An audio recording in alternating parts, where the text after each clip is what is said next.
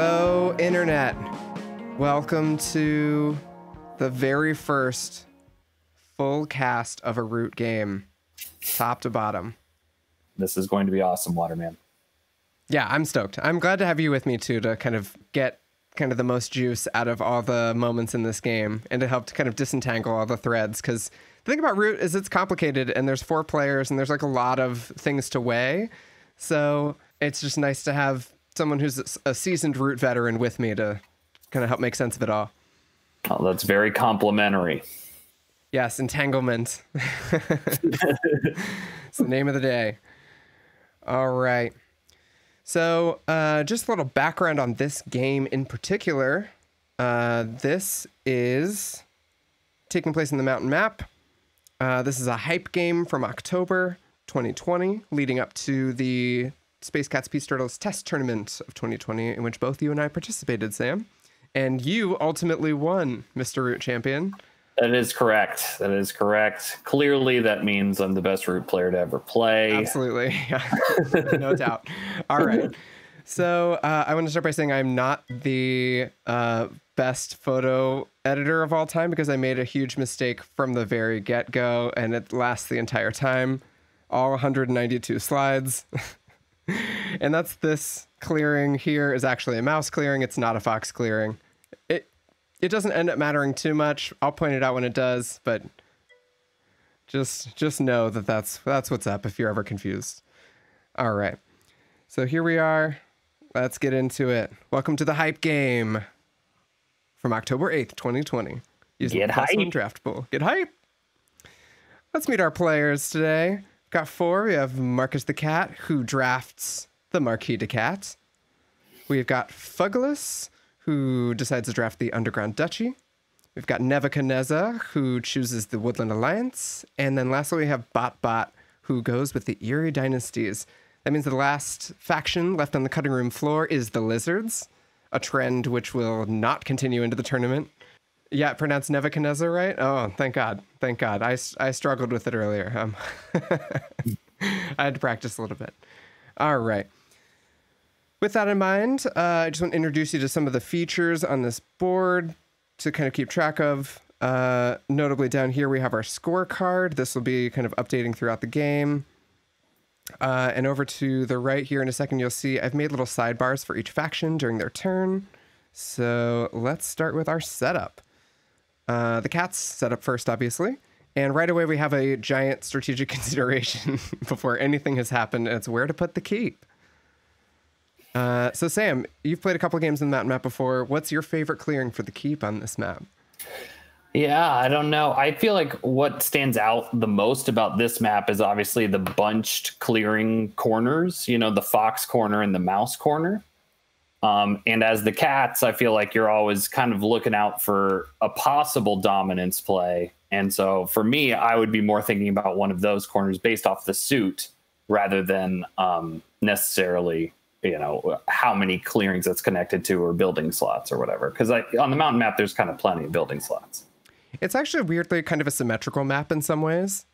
Um, but I totally agree with you. Yeah, nesting into one of those corners would make a lot of sense. Uh, one thing to note about the mountain map is we do have these kind of paths that are covered that you can open by discarding a card, and it gets you a point to do so. Uh, and because they all happen to be on this like east-west axis, that means that at the start of the game, the board is kind of divided in half into like an, a left half and a right half. Um, sort of like this. And so the placement of the keep in either one half or the other, you're going to try and dominate your side, I think, from the get go, is sort of the imperative of the cats. Try and get a grip on your half of the board as much as possible. So let's see where Marcus the cat decides to put that keep. All right, chooses the bottom left in this kind of like fox area. Very nice. All right, we got our building placement. Like seeing a sawmill at home. Um, one thing that did kind of spark my attention is we have this inclusion of the workshop in a fox clearing, kind of in the middle here. And as we all know, this is a mouse clearing. um, I kind of had initially thought from the get go, like, why not put this workshop in a mouse clearing just because of the crafting potential? Um, but it turns out there's a very concrete idea behind this placement that we'll see. All right. Let's see Yeah, those I- warriors. I agree that that uh, arises some suspicion in me if I'm not uh, the cats player. I think like, oh, you must have a card you want to craft specifically. It does seem very pointed. You're right. Right. All right. Moving on to the birds. Uh, hello. Welcome. Meet our Eyrie Dynasty's little card here. This is our decree area. And as you see, we're starting with the despot leader. That means we've got a vizier in move and a, a vizier in build. The Eyrie obviously sets up directly across from the cats, so let's go ahead and see that roost and warriors. And the thing about the Eyrie is I feel like there's a bit of an incentive right away to pressure the center. Right? The Eyrie wants to grab the pass if they can. But the fact that they're starting with the despot, a little bit of a slower start, maybe makes me kind of think that their goal might be to sort of establish this this mesh of roosts in uh, in the, the kind of like left side of the board if they can. It, it it's reminiscent of like on the autumn map that like lower left corner, um, that kind of like spokes on a wheel situation. Where if you can get this whole mesh together as the Eyrie, that's going to be hard to break. Alrighty, but we'll see. We'll see what develops with them. All right, we have the duchy, and here's another strategic choice. The duchy can choose between the bottom left clearing and the top right clearing for their tunnel. And Sam, if you're the duchy, what would you pick? I mean, I always kind of like to be out of the way. So for me, I'm going to take that lower left fox clearing um, because yeah, if if you put a if you put your starting pieces in the top right uh, rabbit clearing there, then you got two pieces where that cat has the buildings in that fox clearing there. Yeah, and to me, that's just asking for like a turn one war that I didn't I, as a player I wouldn't want to be involved in. Totally, yeah. So you'd want to kind of turtle up in the bottom left. I think so. Yeah, pick and choose your moments. You know.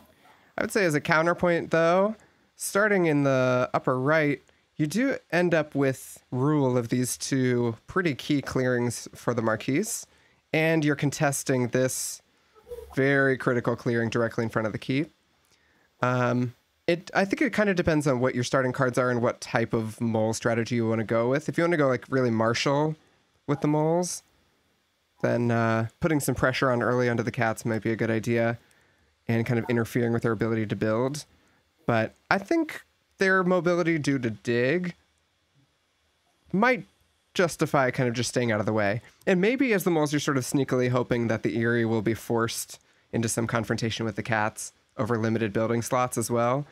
Yeah. So I would selfishly be hoping that as well. All right. So we see they do set up in the bottom left. Good call, Sam.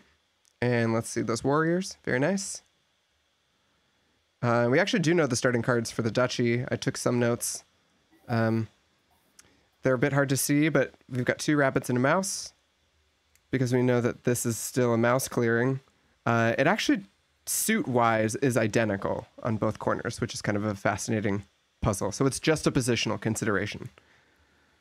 Okay. Phouglas chooses the bottom left, and then let's move on to the Woodland Alliance setup. There's no pieces that go on the board, obviously, but since I've just made this whole series on Woodland Alliance opening motifs, I uh, I feel obligated to spend a little time on it. We do know the starting supporters for the Woodland Alliance. It is Rabbit, Rabbit, Wild, and right away my eyes light up if I'm the Woodland Alliance player because what's in a rabbit clearing? That's the pass, baby. I'm gonna spread some sympathy over there if I can. In fact, if I Uh, had my druthers, I would say these three clearings, or maybe these three clearings would be my prerogative as the Woodland Alliance. And Waterman, just for clarification, the the rabbit, rabbit, bird, those are your starting supporters or starting hand. Starting supporters. Okay. But the thing is, is like it's a super idealistic proposition to try and grab the pass right away as the Woodland Alliance, and I think uh, the players kind of prevent the first couple best options that the Woodland Alliance has in spreading sympathy right off the get go. But I do think it's kind of fascinating that we've got such a monochromatic supporter start. It kind of lends me to, to believe that we may be looking at a rabbit base pretty soon, but uh, we'll see how that bears out. Okay. That's our setup. It's time to go to turn one. So, for those of you who are watching on YouTube in the future, uh, I've got this handy dandy turn tracker in the top left, so you can scrub through the video if you want to just get to the good stuff. Um, and yeah, so the way we're going to do this is basically just go through each faction's turn and then kind of pause at the end of the turn and talk about what happened. It's kind of the format, just to keep it quick. So let's do the cats. Uh, cats, we have our wood in Birdsong. Top of daylight, we craft a Fox Partisans. Just like we said, there was a concrete reason behind that Fox workshop. All right. We'll talk about Fox Partisans at the end of this uh, this turn here because that's a huge deal. Ends up mattering quite a lot. All right. We've got a build of a sawmill in the top right clearing. We've got an overwork of that sawmill using a bake sale. And with that extra wood, we build a recruiter in the pass. Big move. Lastly, we'll spend a bird card for an additional action and take a march to move solo cats from the left side of the board to the pass, leaving the cats with a, a martial law amount of troops in the pass as well as a recruiter. And there we go. That's uh, turn one for the cats. They do get the extra point from the pass as well as two points from building. So that's uh, a three point opening turn right there for Senior Kitty. Sam, what do you think about this turn? it's a great first turn. Um, yeah, it's really aggressive. I think like I'm wondering that march, right? He marched two cats into the to the pass, Yeah.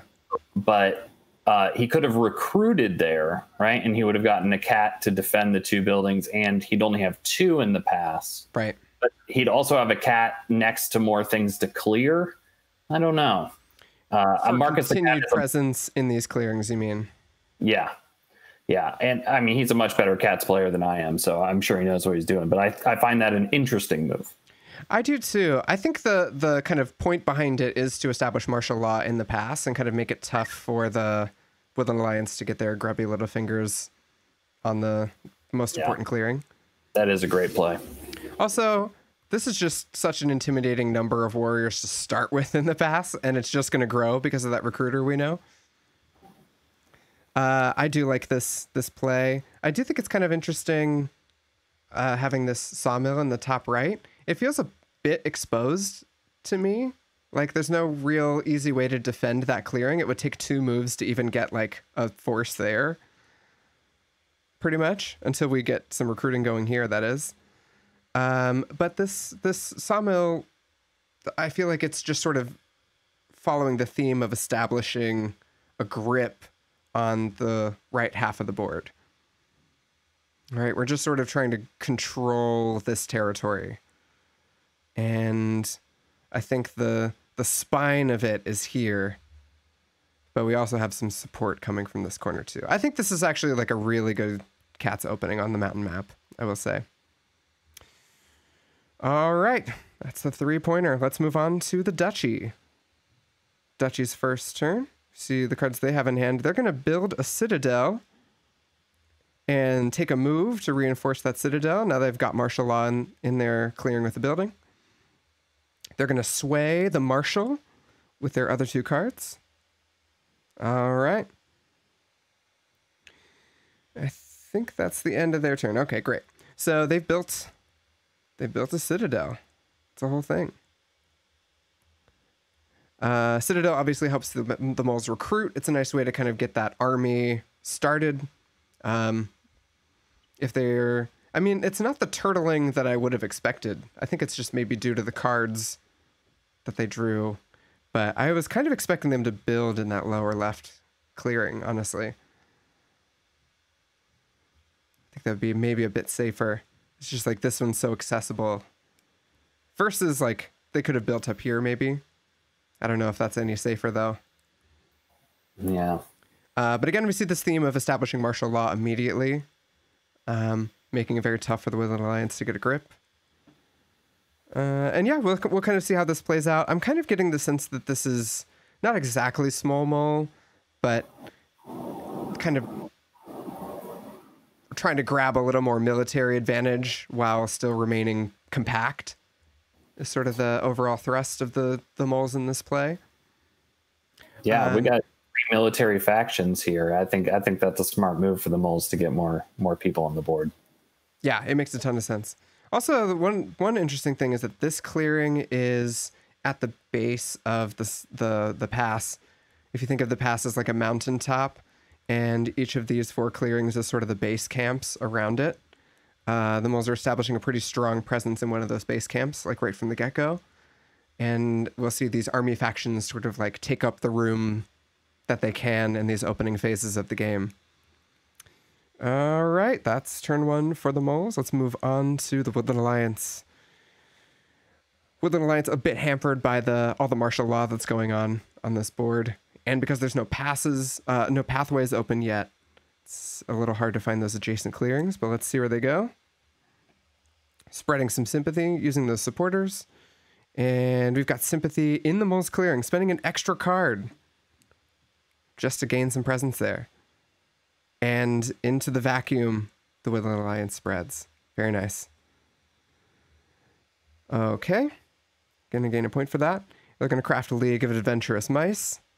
It was at this point in the process that I realized that I could just make a transparency out of the artwork and then sort of tuck it onto the player board, like over here. oh, that's adorable. So this is our little cute League of Adventurous Mice Mouse.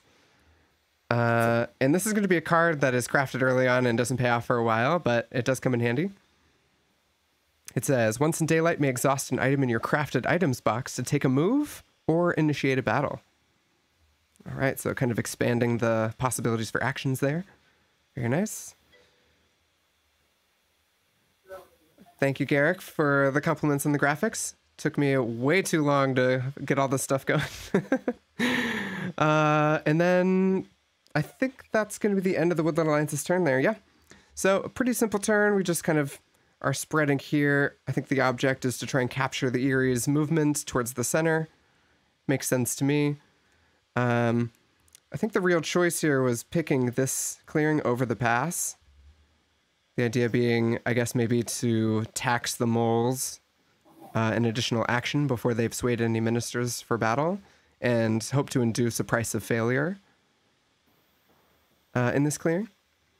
Um, I also see this this decision also ends up kind of creating a really interesting game state because the pressure is mainly on the birds and moles with this uh, sympathy setup, and the whole right half of the board is just like cat's paradise right now. All right. But we'll see how this plays out in the future. For now, let's move right along to the Eyrie's first turn.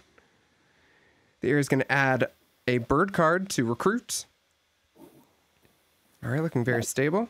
They're going to go ahead and recruit at their roost and move down directly south into that edge clearing with a force of three birds, and they're going to build and score their points. So it it turns out this was effective in pushing the Eyrie down as opposed to towards the center. Um, I think the Eyrie was maybe trying to establish with the despot their kind of matrix of roosts in this kind of area and take away some uh, building spots for the moles and, and make them a bit uncomfortable, I think. Uh, so right away, we kind of have these three factions all kind of boiling together in the left side of the map. And again, the cats have just like a lot of room to play on the, on the right. And this is the end of our first turn, and that's kind of my like big takeaway from this first turn is we've got um, a lot of conflict and competition going on on the left side, and it's pretty free and open on the right. I don't know, Sam. Would you have uh, made the same move as the Eyrie? Um, yeah, hard to say. You don't want to have to put a, a card in battle on turn one. I feel like that's, you know, that that that can be tricky. So I understand why he goes down. Also, I just think the theme of every of the army factions uh, this time is everyone ma- made a concerted effort to put martial law places. That was the cat's first move. The moles did it, and the birds have two, and it just feels like that.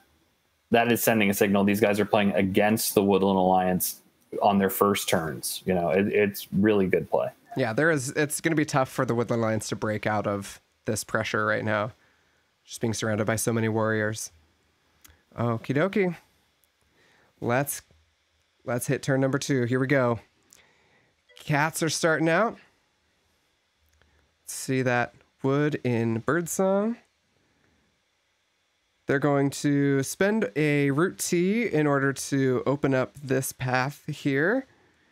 Uh, in the bottom, the one that I like to call the back door because it's such a an out of the way path to open up. But it's the first one that they focus on, and I think this is actually one of the more prescient kind of strategic moves in the game. It just kind of connects these clearings all together, which is really nice. Okay, they do get a point for that as well, which, you know, can't have too many of those as the cats. All right. We're going to build a recruiter in this clearing that was recently opened uh, a pathway to. And we're going to recruit. Build a recruit and a battle. Battling in this fox clearing in the bottom left. And they roll a one zero and they use fox partisans to kill that tunnel.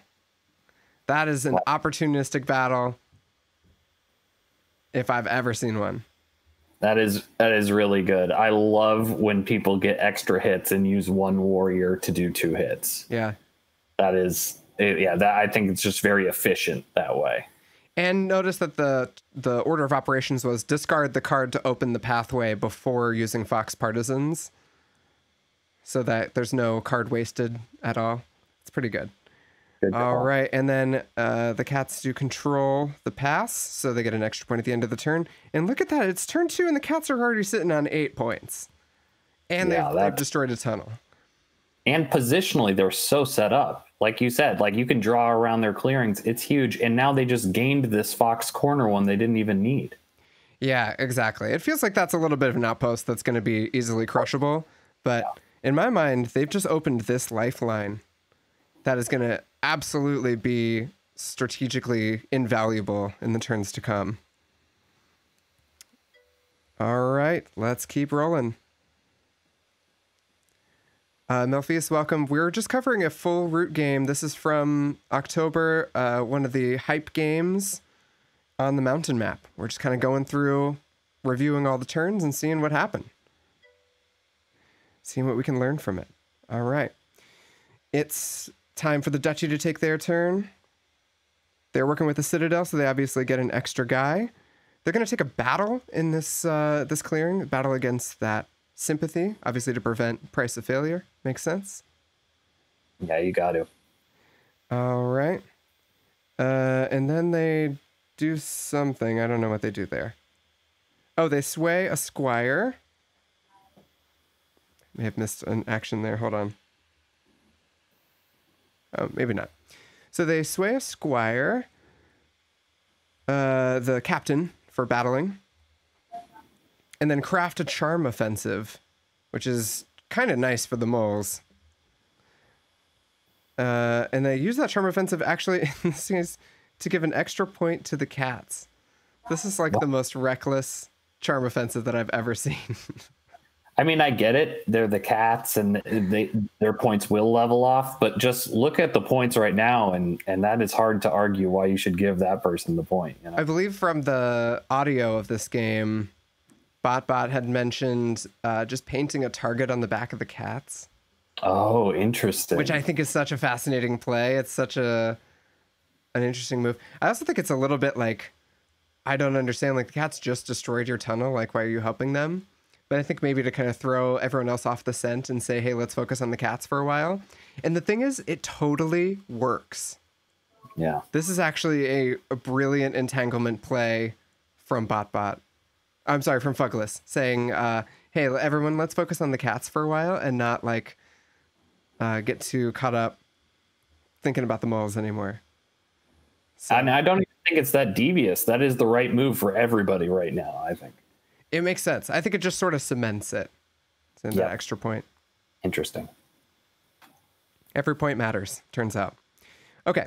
So uh, onto the Woodland Alliance. I mean, well, let's actually talk about that turn. So we have uh, a what is it? A captain and a marshal. So a move into battle swayed for the moles, and kind of a limited board presence. I would have hoped for like a dig, maybe. Like they have that extra mole every turn.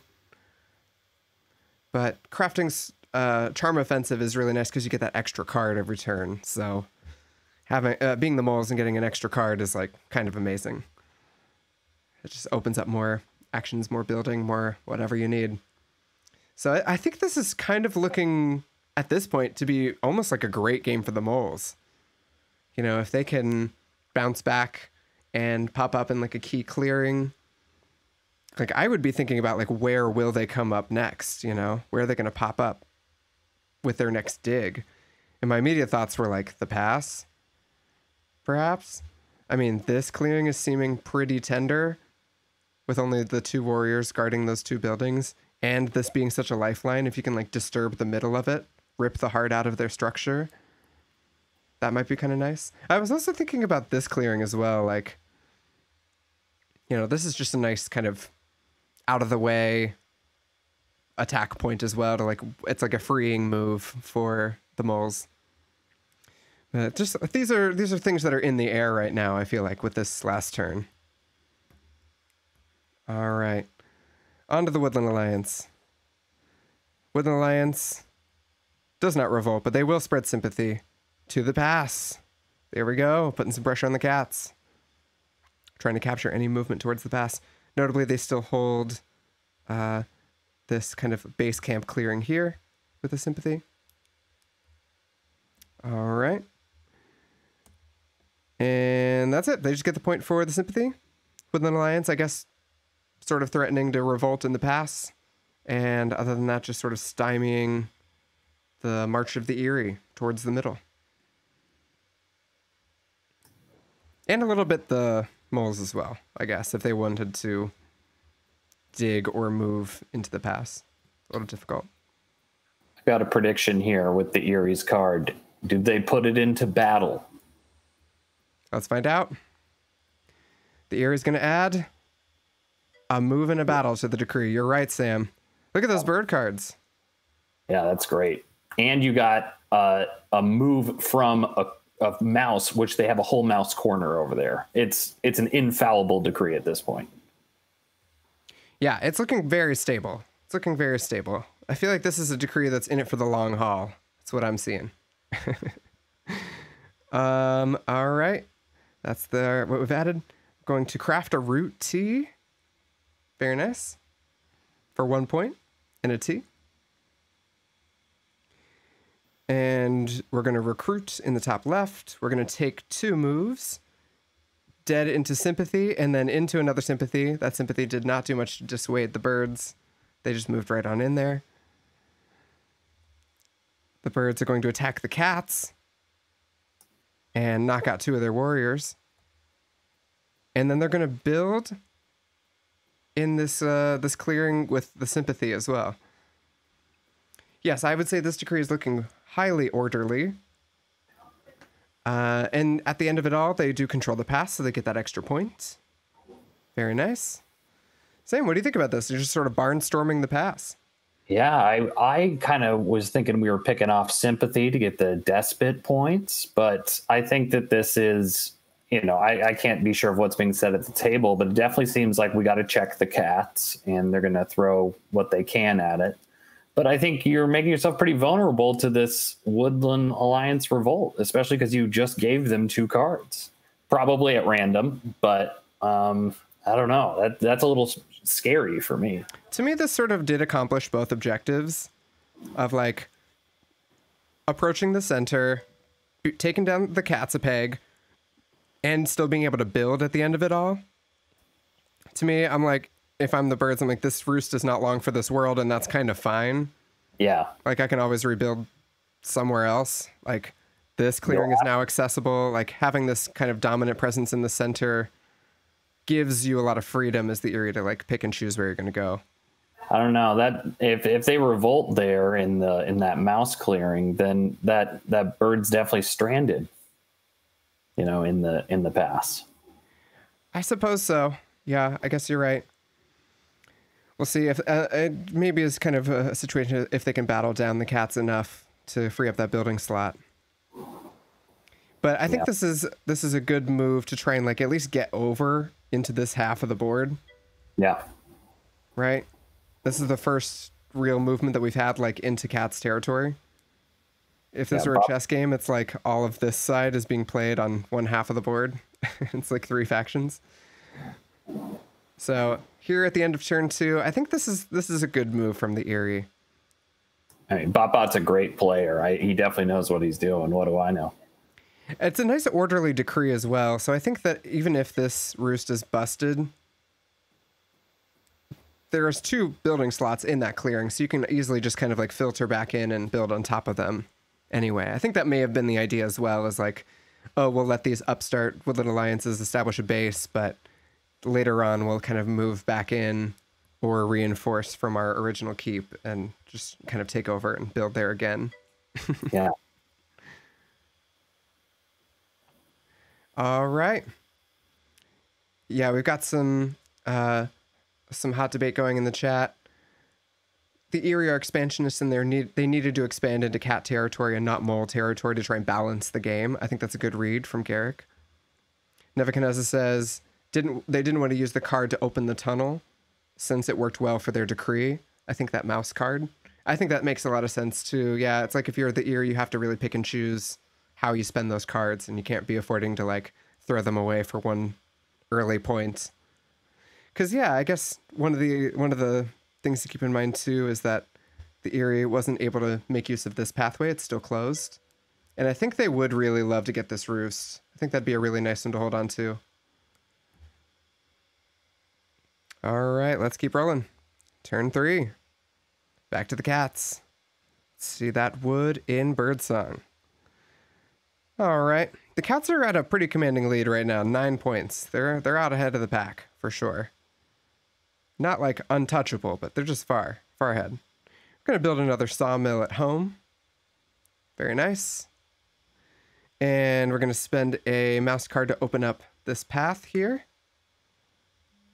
Yep. Again, just sort of like clearing these paths near the keep to sort of give them some flexibility with their movement and stuff. Very nice. We've got another recruit action. So we've got martial law all over the place in the cat's territory. And then a battle against the sympathy. Four points. All right. And then the cats do get an uh, additional point. Uh, no, they don't get a point for the pass this turn. They just get the point from battling the sympathy. So two points from building, one point from opening a path, and one point from attacking sympathy. That's a four point turn for the cats. They are just like chugging right along. Chugging right along. Um, Sam, what, what do you think about this turn?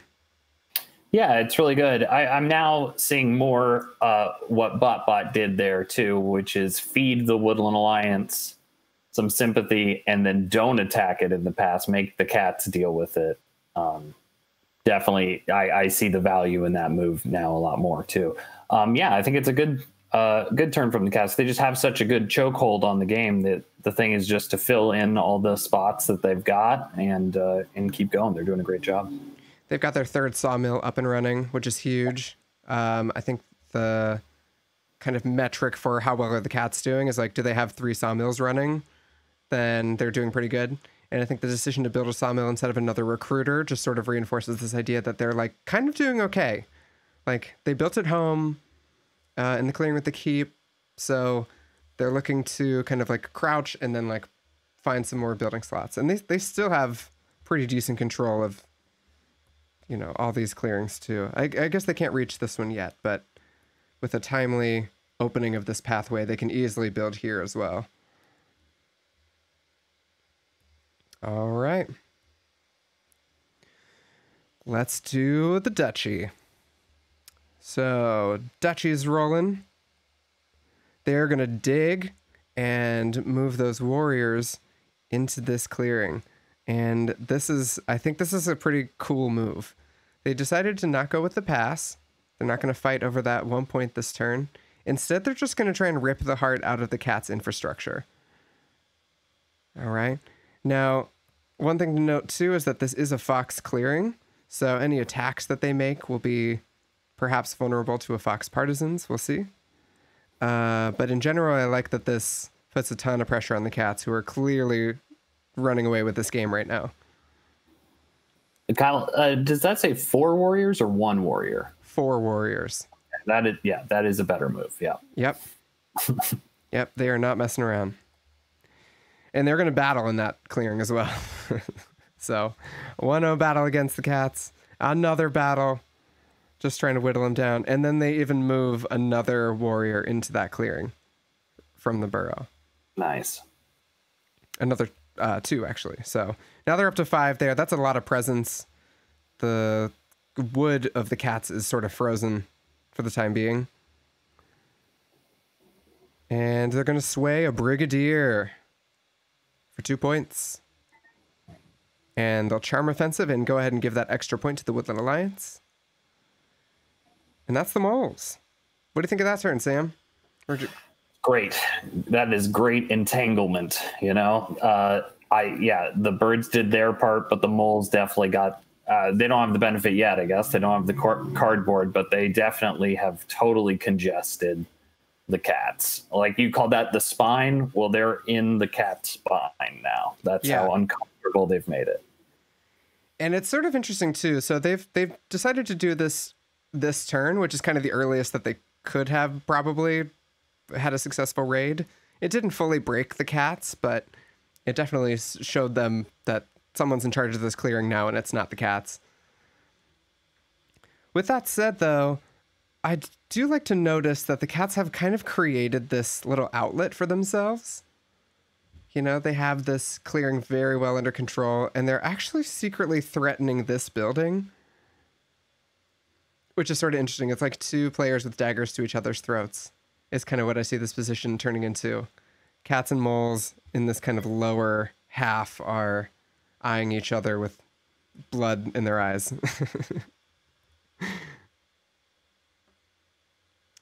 um, Marcus the cat, uh, notably playing the cats in this scenario, mentions that uh, one of the issues with attacking this clearing was that it didn't actually take out any buildings, and that perhaps digging in this top right clearing would have been maybe a better idea for the moles. What do you think? I don't know. I feel like it would have been uh, with that act of aggression. Marcus could have then reinforced that clearing. I don't know what happens. Uh, you know, I'm on the edge of my seat here, so uh, I don't know what ends up happening to that fox clearing, but uh, it might still be salvageable. I don't know. I don't know. I think this is the safer move to attack this top right clearing. It's not, notably, it's not a fox clearing. So there's no partisans kind of available. And notably in these battles, uh, no fox partisans were used, ended up being used. Um, so it's just sort of interesting how it worked out. But I think this is a fairly commanding position. You know, you're trying to just put a bone in the throat of the cats as much as possible. Like they're in such a big lead. Like, and this is this is obviously such an important kind of nexus uh, on the east side of the map. So I, I, guess I don't mind it. I wish that the rolls would have been a bit better. Maybe that could sure. have been a bit more decisive, but I think they're in a good position to sort of threaten key structures of the cats. Also, this is just a move away, and they have a marshal and stuff. Like, yeah. So is the keep with two sawmills. You know. I mean, yeah that that is the real prize is this keep, but I think it's going to be hard with Fox Partisans crafted immediately to really break that. I think this this whole game players are staring at the keep and going, "There's no way." That's a nice place to be as the cats. Even with the one warrior there, I think maybe uh, the cats are thinking that this may need to be reinforced soon, sooner rather than later. All right, but let's see what the Woodland Alliance has to say about this. The Woodland Alliance is going to revolt. There we go. Got that base on the map. They are taking out a Roost and an Eyrie Warrior in doing so, but they do revolt with one warrior and one officer. they're going to open up this pathway here to the top for a point. And they're going to recruit at their base. And that's it for the Woodland Alliance. Holding strong at five points. Yeah, I feel like that's a pretty pretty natural follow up. Yeah, little, I mean, it's a good uh, location. There's lots of uh, you know clearings to spread to via organize and stuff. Mm-hmm. Uh, yeah, I think it's good. Considering how much pressure they were on early on, it's good to see them online. It's uh, it, yeah. in the comments, we've got that classic suboptimal turn three revolt. you know, a turn three, it's not too late it's not the most ideal, I guess, but turn three is respectable. I feel like turn four, you're a little bit like, "Are you okay?" And turn five, it's just like you, you can just you can sit out the rest of the game. It's fine. But no, turn turn three is okay. I think turn three is fine. I wish there was a, a card that matched that suit to be able to train ones to kind of get more of a formidable force going. Yeah. Uh, but yeah, I think the the Woodland Alliance has a little foothold now and they're definitely breaking up the Eyrie's presence. Um, and yeah, I think it's I think it's all all well and good for the time being. We'll see we'll see what develops in the future. Tough on the mountain map with all this martial law around though too. I guess they yeah. have these clearings at the top to, to work with, but yeah, it's it's looking hard to kind of get into the ranks here.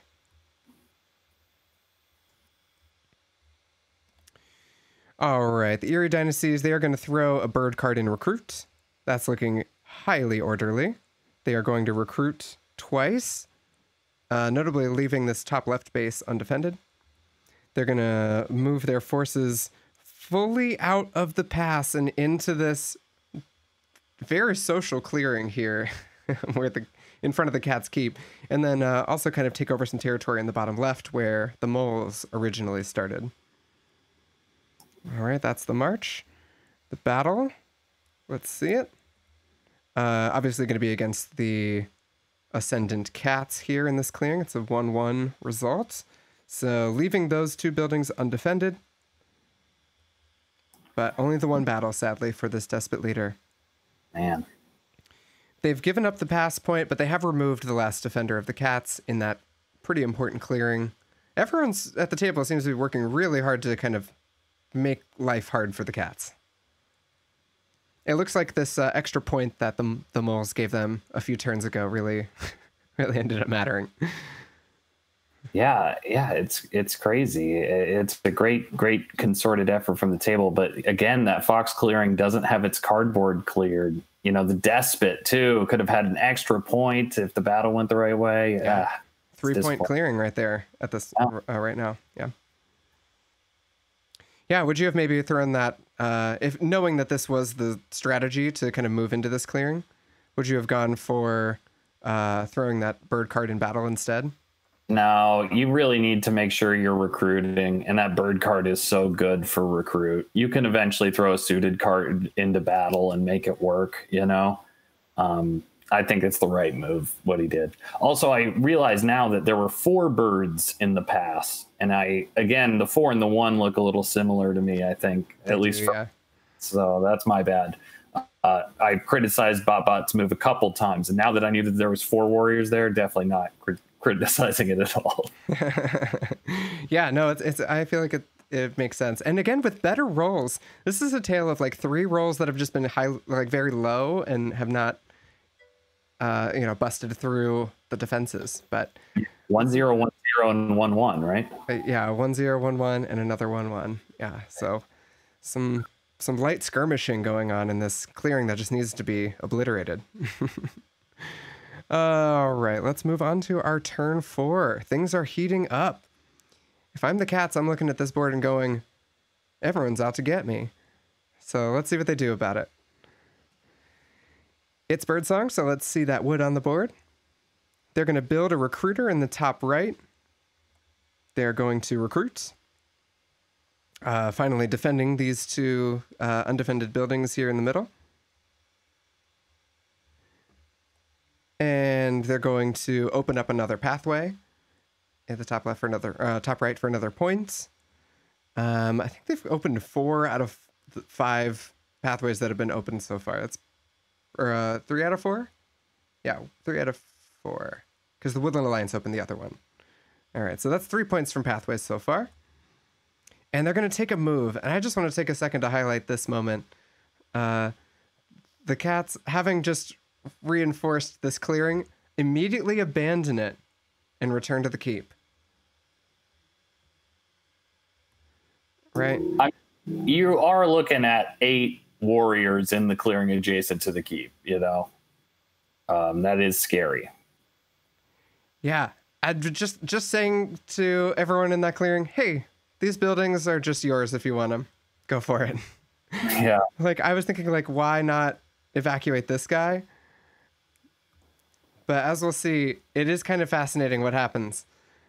But yeah, making great use of opening up this pathway just to do a little maneuver to reinforce the keep. This is right. this is some good play, and leaving martial law in place. Like life is good, life is good for the cats, even if these two buildings are not long for this world. You already got your Fox partisans out of it, and you just built another recruiter. So honestly, in terms of the cat's rhythm, I don't feel like they're going to feel it too much. It's more just the territory they're taking away. I think. Right. If even if they lose this recruiter, they still get the extra card draw. It's okay. Right. Uh, but once again, they do control the pass, so we're gonna get that extra point there. Very nice. And the cats are sitting at 18 points all of a sudden. Yeah. Wow. They're sitting at 18 points all of a sudden. Yeah. Garrick makes a great point that leaving a cat here means that you can actually build there as well. So it makes sense to not abandon this building slot. The buildings that are already built can't give you any more points for building. Yeah, the cats have just done a nice job of saying like, fine, you can take my center. I'm just gonna find ways around it. gonna find ways to like keep the circle of production going. Very nice. How'd they get to 18? That's like unbelievable. It's a, a four yeah, point turn, a five point turn. That's the hardest 12 points in Root to get. The last 12 points for the cats. Yeah, yeah. We'll see. We'll see if this is enough of a lead to get them across the finish line. Yeah, they can they can just rebuild buildings that are destroyed. Giving up a building that's already built is is not the worst thing in the world for the cats. All right, moving on to the duchy. Let's see how they respond to this uh, provocative movement. Are they going to take the bait? Are They're going to take these buildings? Let's find of out. Of course. uh, they've got. Uh, they're going to do a recruit. Again, I, I made these sidebars. I think I should put the burrow as like a motif on the duchy's sidebar, just like a, with a big number or something. And they're gonna dig. They're finally gonna dig in this top right hand corner, pop out with three moles, and uh, really, really threaten this crucial infrastructure here. There's going to be a battle against these undefended buildings. It's a 2 0. Destroying both of those buildings. And then we're going to get a big movement, just like quickly getting out of this clearing and heading up to where the rest of the production is in the top right. Followed by a battle in the top right, a big 3 0. Oh man, they are, it's a barnstorming kind of attack going on here from the Duchy. And they take out a recruiter. Now, the Cats were okay with losing one recruiter, but they've just lost a second, and that means that they are now under their uh, card draw uh, extension, which is which is definitely a big disruption. All right, the moles are looking fearsome. And they attack again with uh, Brigadier, because, girl, Brigadier is like taking everything down, taking out that, that sawmill. There we go. They're going to sway a mayor, which says take the action of any swayed noble or squire. Whoo-hoo! Man, the moles are looking strong. Very strong. It's going to get them a couple points, and then they're going to charm offensive and give the Woodland Alliance a point. Very nice. There we go. And, and the moles are at 11. I mean, that's a bunch of points for them, but it doesn't feel like they've quite caught up, you know?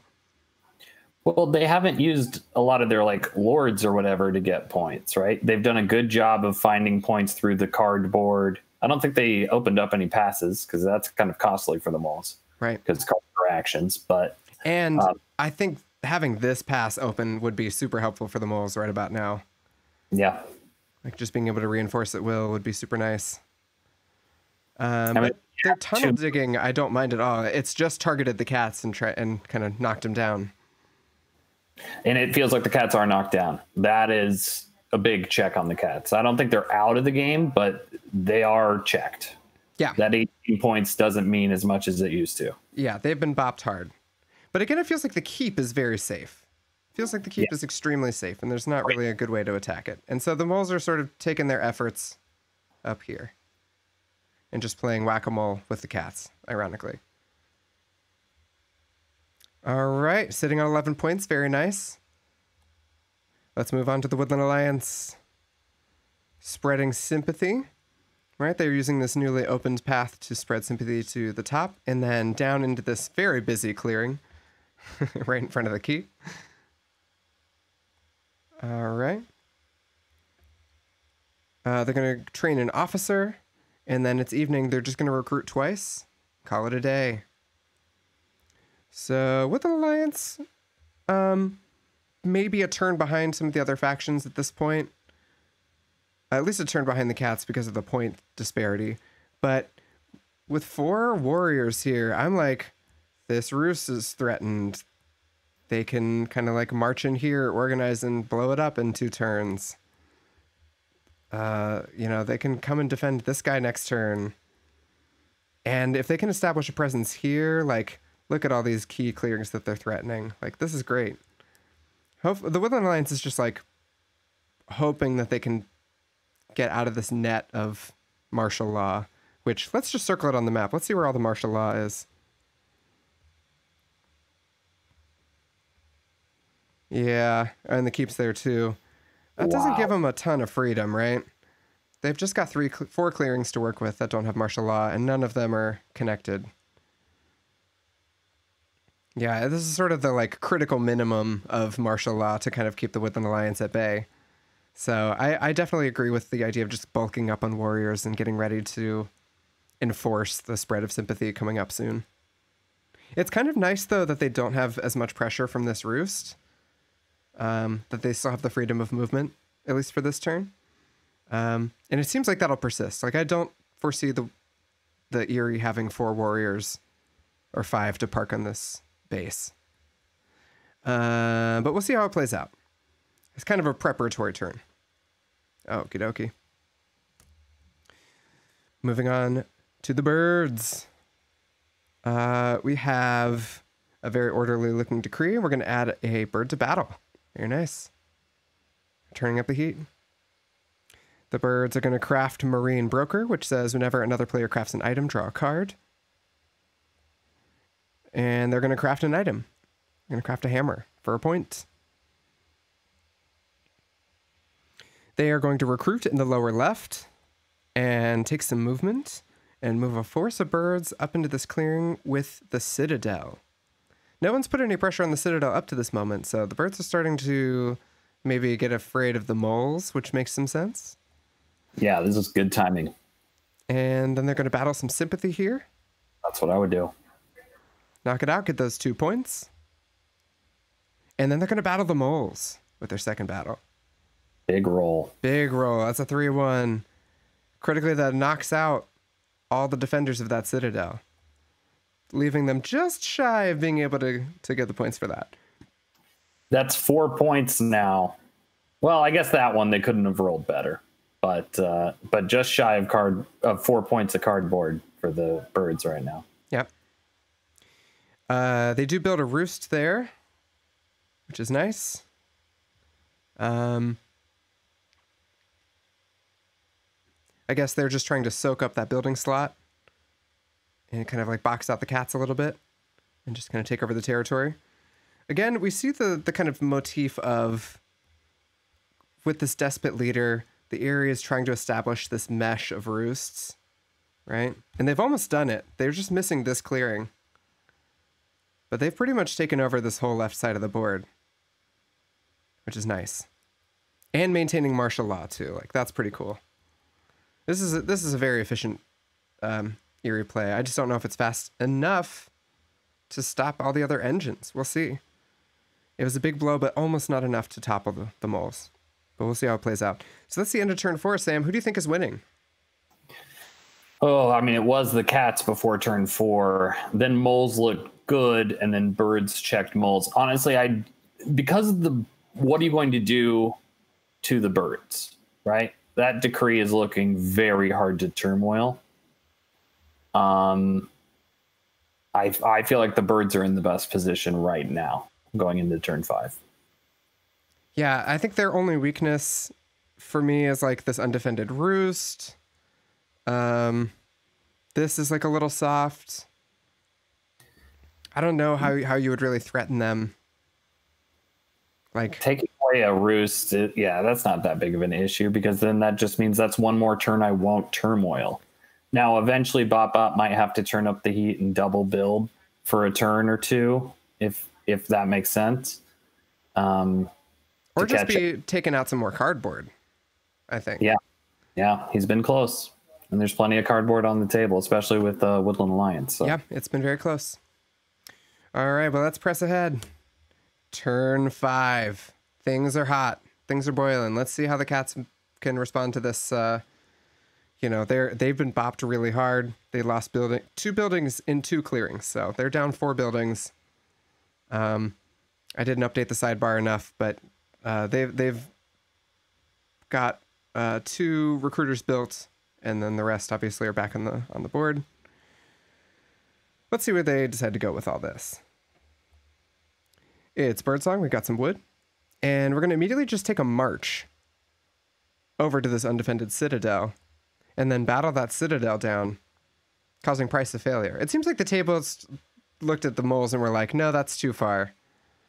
We're gonna like you know, chop the, the blade of grass here. Also, some good point denial. Some good point denial. Yep, from uh, from the birds as well, uh, or even the Woodland Alliance. You never know. Uh, price of failure takes out the mayor, and then the cats are going to build a recruiter in this clearing that they didn't abandon earlier, which is pretty nice. Uh, and they are going to recruit and they control the pass. Uh, or they're going to open up a path uh, because they have this one lonely little cat down here who's adjacent to this pathway. They're going to use that That's... to open up this path. Yeah, rigorous dedication to opening the paths. And they'll get a, a point for the pass.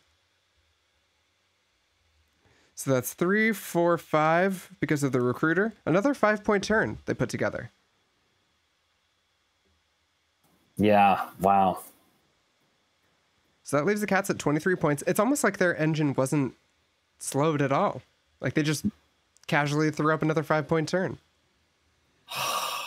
yeah, but going, well, no, I could see how they could keep doing it. Yeah, they're in okay shape. They are. But um, people are going to for them. Looking at this, what would you say the Cats' like weakness is? Uh, that's a good point. I don't know if I could identify a weakness, especially they got they've had the pass since turn one. I don't think they're going to lose it. Yeah, um, five um, is a pretty big guess, number to overcome in the pass. I guess it's the clearings adjacent to the keep. Yeah. Um, but I don't think the keep is itself in much danger again because of field hospitals and uh, fox partisans. That's going to be impossible to get even through two warriors. I think the thing to think about is not necessarily what territory can you attack for the cats, uh, but how to deny their building abilities. I would say that because the cats don't control this clearing, their life is actually kind of tough. There's six moles up here. There's no way they're going to outpace that and build there, right? So this is a little bit of a nice, like, big wall. I think the cats are like maybe thinking I'll build here one day, and they're also maybe thinking about like creating a bridge to be able to build in the top center clearing as well. But they have some options. They have some flexibility, and I think it's mainly to do with this kind of like force in reserve that they can bring about. Because like if they just march four cats into this clearing, they can build wherever, like all over, you know. All right. Attack here and build. Like we'll see That they, they have some strategic options going forward, but the rest of the table is doing a good job of trying to put a lid on them. Garrick says it's time to go Fox Dom. I don't hate that idea either. Honestly, you're right. Yeah, I wasn't thinking about that. Oh, Garrick, you weren't here for the very beginning, but I made a horrible mistake. This is actually mouse clearing. Oh, that's right. It's that's on right. all 192 slides that I meticulously put together, and I just overlooked it completely. anyway, uh, so that's the end of the cat's turn. Let's move right along to the duchy. All right, they're going to recruit. They're going to dig again. Look at all these tunnels out. I'm just like waiting for the Duchess of Mud. Yeah, it's a mouse dom now. Yeah, exactly. They're going to dig in the top left. They're heading after that undefended roost. Sam, like you had mentioned earlier, uh, time to bop the birds a little bit, right? Yeah. But at the same time, they're going to take a move down here and sort of threaten this uh, recruiter over here. They're going to battle down that roost for a point. And they're going to battle against the cats in a critical 0 0. 0 0. That's, you just hate to see it. We had one 3-0, but I think a lot of the other rolls have been real low. And the thing is, is they, they battle again and it's another 0 0. Oh. Oh, that's heartbreaking. That's a tough one. Yeah. Yeah. Not doing much to really limit the um, buildup of forces, but doing enough to kind of prevent them for the time being from sending wood anywhere. They're going to sway a Foremole. And they're going to charm offensive, giving the Woodland Alliance another point. And there we go. That's the turn for the duchy. Yeah, roots dice are fickle and capricious. Never have we seen that more in display than two zero zeros in a row. uh, Sam, how do you how are you feeling about the duchy right now? It's good. It's just hard to get the points, I think. I mean, I do see some cardboard on the table and they have a bunch of moles. They're in full display. It's full small mole, right? No buildings on the table, so there's nothing people can do about it. Um yeah, I guess that's a good spot to be in, but they need to get get on the go of getting that cardboard and stopping the cats. And those zero zeros don't help. Yeah, that's tough. I just saw that comment in the uh on in the chat there. That's terrible. Five zeros in a row against the Woodland Alliance in one game. That is statistically unlikely. I think it's terrible luck. Yeah, and Guerrilla War does contribute a bit to that, but still, zero zero. It's like one result out of sixteen possible results, right? If we're gonna math it. All right, moving on to the Woodland Alliance. Recently Ascendant. They've got their base. They've got their warriors. Let's see what they do with it. They're going to craft a Woodland Runners, which, as we all know, is going to give the birds a card. And they're going to take a move into the pass. All right, baby. They're going to organize and recruit at their base and call it a day. So did they get another officer? Uh, nope, still just a two. Oh, so I, I thought it was move, organize, and recruit. Oh, uh, they exhausted their boot using Oh, the League of Adventurous Mice in order to take Right. that move.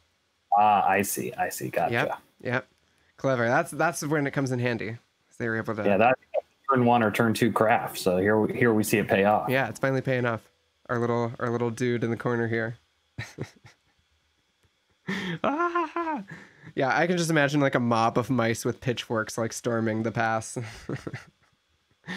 and then just organizing. They're just like, we're gonna build a, a little sympathy post here. Um, all right. With an alliance hanging out at 11 points, it's like their engine got going a little bit slowly, but they're trying to break out. I think I wish they had more officers. I think if they had four officers this turn, there was maybe some ability to maybe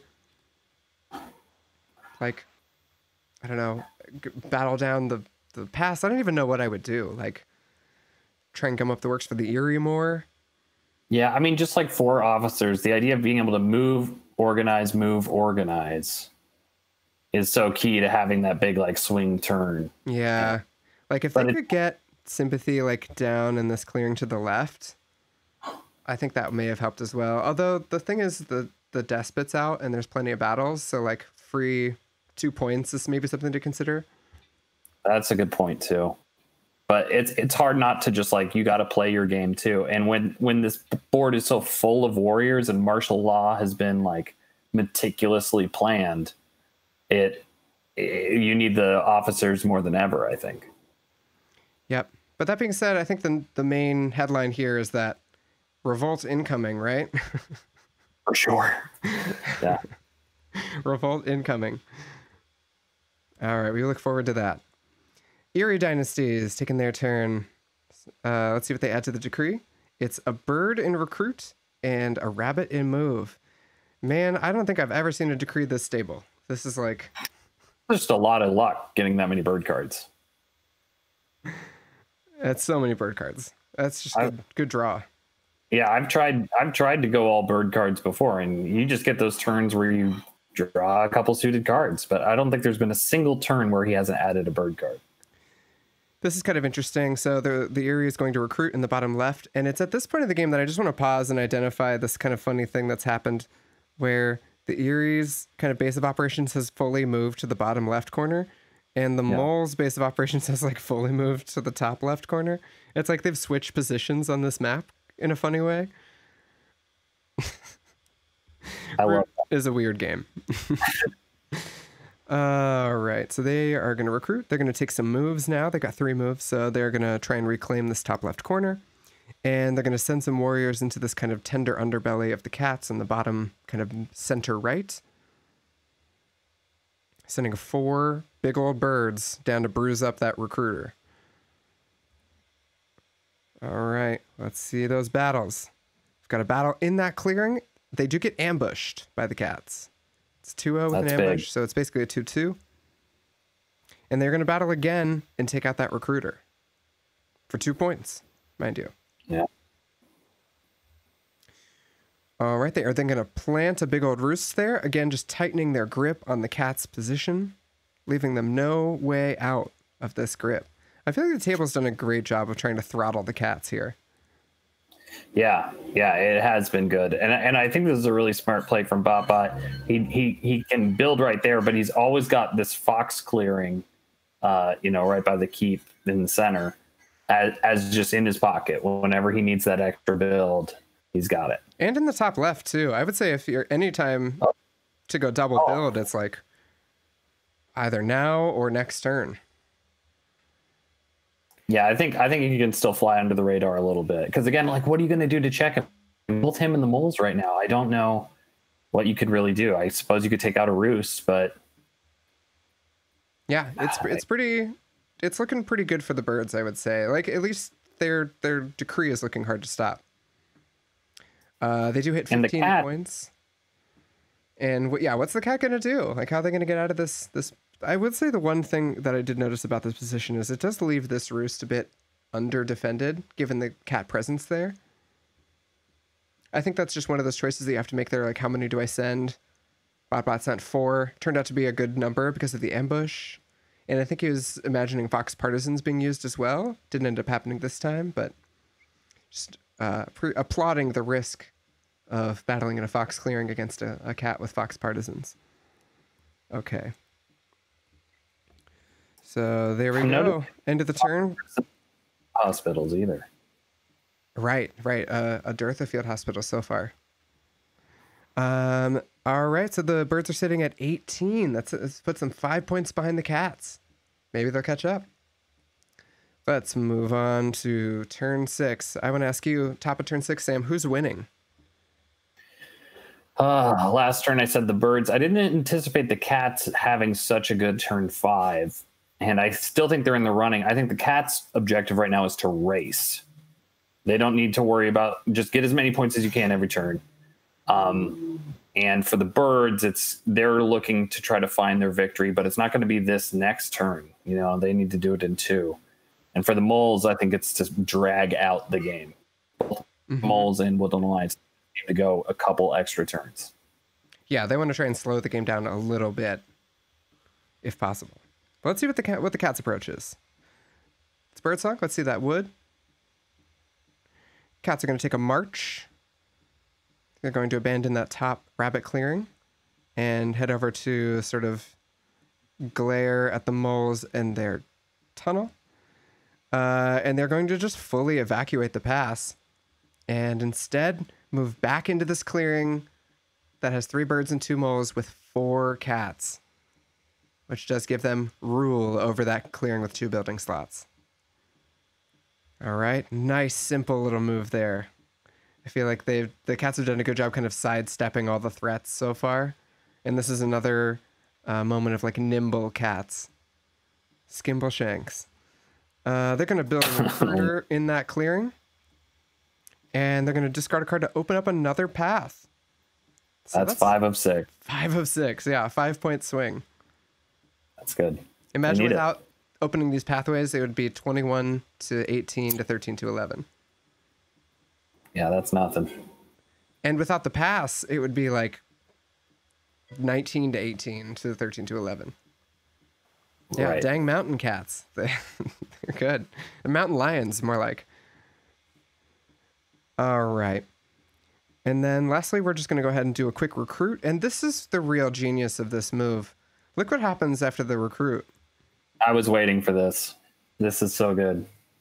Now the cats control the pass again. This is just like amazing. It's just it, it worked out just so that at the end of their turn they do jump up and get that extra point. Every point matters. This is a good management of tempo. They had just the right amount of cats to be able to send some forces into this clearing and build. It just like all the objectives of, of the turn were possible with a little clever movement. And again, that's a I mean that's a 4 point turn they're running into. It's been 4 and 5 point turns just nonstop. This is a great cats game. All right. Moving on to the Duchy. Let's see what they're in for.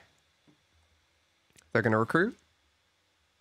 Going to take a move up to defend this kind of lightly defended tunnel here. And they're going to actually go ahead and build two markets in that clearing using the Foremole for the second build. We're going to have a battle in this uh, center right, it's a mouse clearing, not a fox clearing. I messed it up early on. I'm sorry. And that's going to send us down to two moles, one cat, and a recruiter. And then they're just going to go ahead and evacuate that last mole. last couple of moles up to the top here. I think the idea being that uh, now that they have two buildings, it's important to sort of defend them uh, against some inevitable bird slash cat pressure. Yeah. Also, I think you got two buildings in a rabbit clearing. He's looking to craft the coins, right? I, I can't tell if he's revealed it, if he's got it, but uh, that would be my thinking. I think you're right. That's definitely telegraphed a little bit. And they're, uh, the looking to hang on to this clearing for dear life, it looks like. Um, I, I kind of see this turn as just sort of you like try and take the, the fangs off of the cat presence before you like go and defend your position. Just like punch him and run away. Uh, but it definitely leaves the moles in a very sturdy defensive posture, I would say. But let's just take a second and like look around the map at the moles' presence. I feel like the moles are a bit like scattered right now.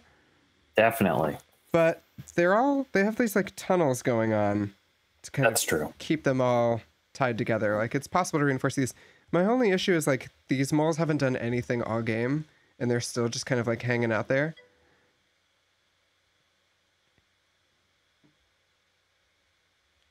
And maybe something to consider as well is that the most dangerous uh, building slot on this map is this one right here. That's kind of hidden underneath these cats. And I think that maybe instead of committing the troops back to this clearing, which is not that accessible. Uh, maybe sending them in here and battling instead would have been a, I don't know, just like a, a different way to try and keep the pressure on the cats. But I think because the duchy goes right after them, it is one of those things too where they're like, well, I did, I attacked them one time and then I got out of there. It's up to you, table. so kind of that turn order, kick the can situation. I know that move. Yeah, I I Yeah, I I, I agree. Uh, there's some talk in chat here about possibly parking them all on the keep to Mhm. prevent build next turn. Honestly, though, it just feels like there's not a lot you can do to prevent the cats from scoring three points on their next turn. It's gonna be tough.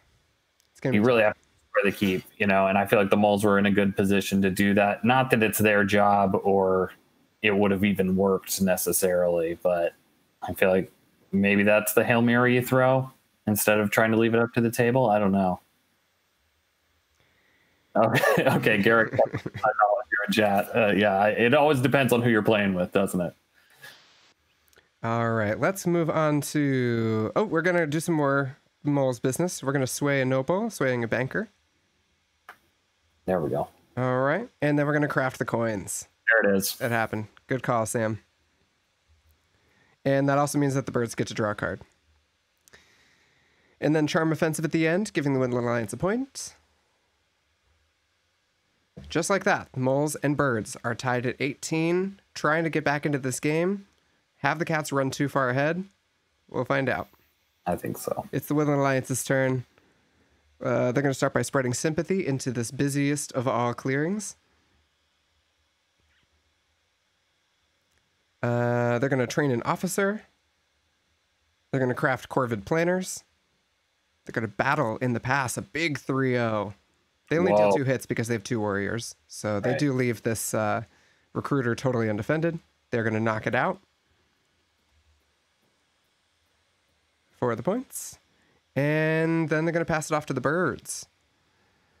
Uh, I feel like this is a good turn for the Woodland Alliance. It almost feels like this is the turn they wanted, like last turn, though. You know, Uh, you want the revolt, right? You know, like the extra card draw would have been good. I mean, everything's a little too late, obviously, but, um, but yeah, and it would have been you, then you wouldn't have to use your evening actions to do the thing. But obviously, the supporters weren't there, and you know this table's been playing against the Woodland Lions very well, so th- they're making this job really hard.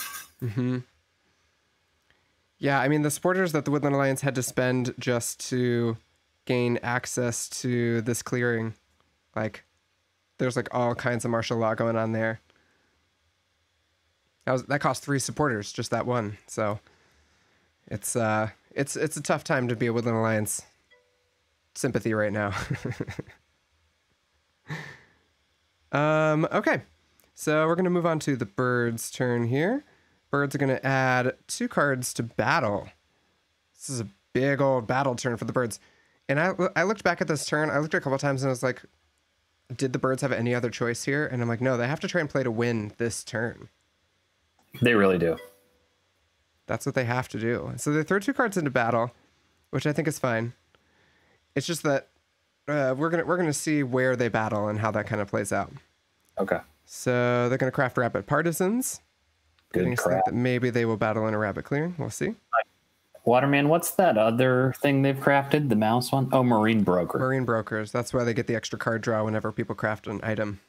Yeah. Rabbit partisans and murine brokers. Some nice crafted improvements this game. We've got our recruits in the bottom left. And then here's our movements. And they're just like heading straight into sympathy territory Yeah, all the way. This is the, triggering three outrages. yeah. And as we see, they've left uh, a force that rules the pass. Very nice. Uh, they have a force that rules this clearing with the base, and they're moving into this top clearing with just the sympathy lying around. Um, in doing so, they do kind of leave some undefended roosts here and here. Uh, so that that leads me to believe that the birds are trying to win this turn. And it's definitely possible, right? They've got four battles. If they can use that maximally for eight points, and then they've got four points from Roos, there you go. Um, Yeah, I think the only thing is, is that they're they're going to be battling uphill against the Woodland Alliance, and my main qualm is with this move right here. Because I'm like, if you're going to move three birds into this clearing, like, why not move like one or two up here and try and take out this tunnel? It's like this. It's it's better odds to get that point. I Oh, mean, here- you would need a, a heroic roll in either situation, but yeah, You're really, you're right. I, I was saying use it maximally and you get there, but that that you need the rolls to go right. Um, the thing that actually I think is a good move here is it is an uphill battle against the Woodland Alliance, which makes your odds of separating those cardboard attacks and getting extra points for them more likely, which I like. yes. I mean, it's still kind of a crapshoot, but it I, I understand the logic there. All right, and let's see how those battles play out. Got our first battle against the base. It's a 0 1 in favor of the Woodland Alliance. We've got our second battle here in the pass. It's a 1 1. All right, a little bit indecisive. Uh, we have a free battle against the Sympathy and another free battle against the Sympathy. That's a four point swing right there. Pretty nice. And we're going to build a roost up at the top there and ring that brass uh, hit that brass ring for another four points and that actually puts the Eyrie pretty far up up at 26 points but then they also uh, control the pass so that's 27 look at oh, that Wow. just like that the Eyrie ties the cats Yeah. so look at that six turns both the cats and the Eyrie sitting on 27 points now it comes down to turn order Yeah, but it always did. Yeah, eh, I mean, we we've been talking about the Eyrie's luck with the rolls, and I think that's a you know that's a risky game to play is is is living or dying by the dice. But you, we we pointed out so many moments where the Eyrie could have had an extra point or two on a given turn, and to see them fall just three points shy right before the Cats are almost sure to win it, it's heartbreaking. It was a good game of Root, though. Good game.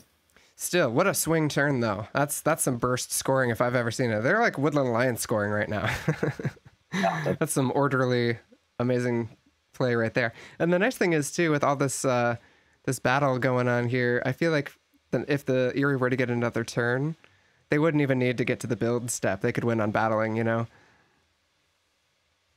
Pretty nice. All right. Uh, let's move on to our last turn. It's the cats. Back up, turn seven. Yep. And wow, they've taken a beating this game, but they somehow are still clinging to those same uh, great clearings as they were before. And now it's time to just bring it home. So we're gonna start with uh, some wood in daylight or in birdsong, sorry, and we're going to battle this undefended roost for a point. Pussy at 28. And we're just going to go ahead and build that sawmill for two points. All right. And there you have it. Marcus the cat wins with the cats. Great job, Marcus the cat. A, a true clinic of cats on the mountain map. Yeah, unstoppable. It felt pretty unstoppable. There were like three or four special cat turns, you know, and in a game with only seven turns, it was an impressive performance. Yep. Absolutely. I think it's it's fun to kind of like look at this, uh, look at the aftermath of this game and sort of uh, see where all the pieces have fallen. You know, it's three big army factions, but as you look around, there's sort of like these groups of of big presence, right? Like the moles are like gathered up here. They started all the way down here ages ago, but that's like a different lifetime. it's so funny the moles just can keep like regenerating presence. It's amazing um, the cats w- had lost and then regained this clearing in front of their keep. There was never an attack in the keep. Fo- crafting Fox Partisans turn one prevented anyone from ever attacking. Yeah. Yeah, that is the the craft of the game. Waterman, I that you now have a segment when you do this called Craft of the Game, and this one would be fact, uh, Fox Partisans for sure. Yes, 100%. I think Fox Partisans is the craft of the game. Um, maybe Charm Offensive for the moles was second place. I saw Garrick talking about how good Murine Broker was for an orderly Eyrie.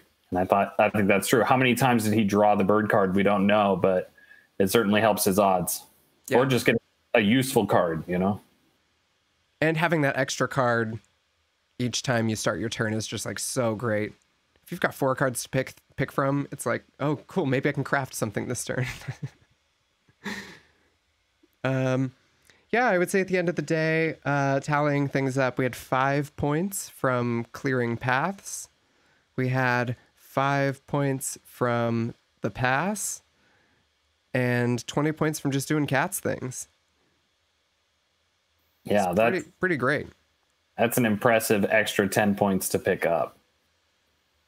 Yeah, I think if uh, if I were to say anything about this game, it would be that some decisions made during setup ended up having huge ramifications over the course of the game. I'm thinking particularly about the moles choosing to set up in the lower left as opposed to the top right. That ended up being impactful to how the cats got started.